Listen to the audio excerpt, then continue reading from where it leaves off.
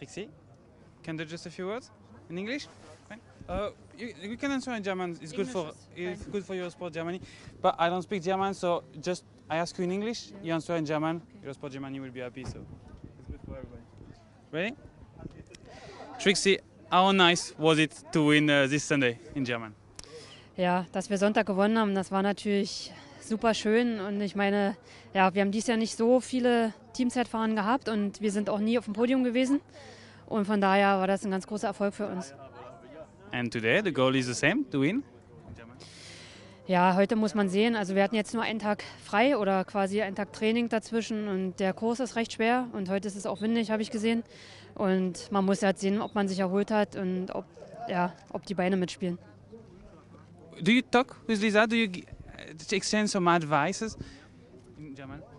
Ja, wir haben gestern zusammen trainiert und sie hat die Strecke schon öfters gesehen und da haben wir uns einige Kurven besser angeschaut und ja, der Anfang ist recht flach und dann geht es natürlich da in, in die paar Berge rein, also es wird anspruchsvoll.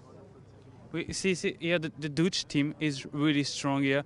Why, why a team can be so strong in the TT? It's a question of culture in German. Ja, die Niederländer sind natürlich schon immer stark im Zeitfahren, also die sind hier auch auf jeden Fall heute die Favoriten, wenn nicht sogar fürs Podium. Also da muss man sehen, wer sich da noch dazwischen drängelt. Shen. Thank you very much. Good luck. Danke.